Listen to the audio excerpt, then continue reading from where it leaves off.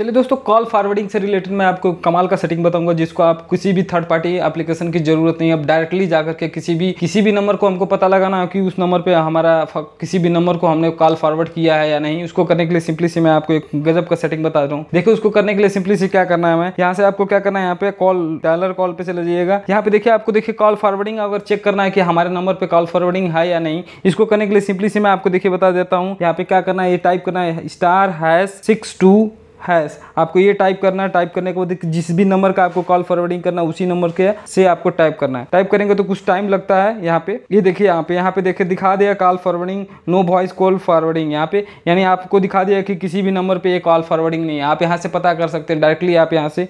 जो मैंने आपको कोड बताया, उसको डायल करके आप डायरेक्टली पता कर सकते हैं। और आपको वीडियो पसंद आएगा तो वीडियो को लाइक करिएगा और चैनल को सब्सक्राइब करिए